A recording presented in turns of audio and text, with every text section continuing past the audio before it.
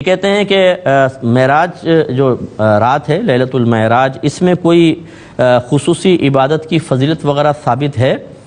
देखिए, मुख्तलिफ़ आप चैनल्स पे सुनते रहते हैं, मुख्तलिफ़ अहादीस बयान की जाती रहती हैं, जिस पर आपको अतमाद हो, कोई मुस्ंद आलिम दीन बयान कर रहे हैं, बिल्कुल आप उन पर अतमाद करके उन चीज़ों को इख्तियार कर सकते हैं।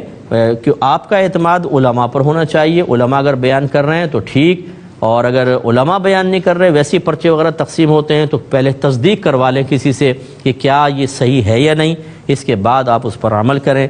मैं अज खुद बहुत सी बातें बयान नहीं कर रहा हूँ, क्योंकि ये बहुत ज़्यादा उल्टी सीधी चीज़ें भी मरूफ हो जाती हैं और लोगों में आम होती हैं।